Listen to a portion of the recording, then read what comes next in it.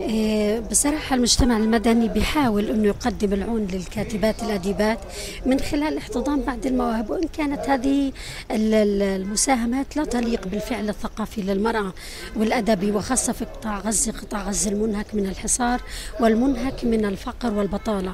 إيه، نحاول وتحاول المؤسسة المراكز الثقافية وعلى رأسها كنعنيات أو من ضمنها كنعنيات أن تحاول أن تعلي صوت المرأة في كل مكان وتعلي صوت كتابتها عاليا.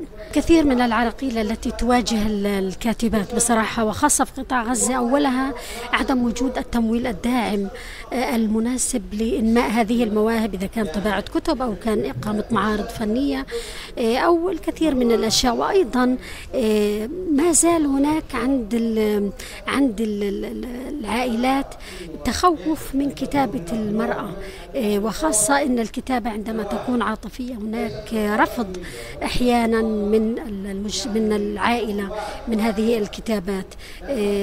أقصد أن الكاتبة تعاني من من عدم إعطائها الفرصة كما يليق. بها طبعا آه، إنما تكتبه الكاتبات الفلسطينيات وتنتجه من إصدارات ويعبر عن الحالة الفلسطينية.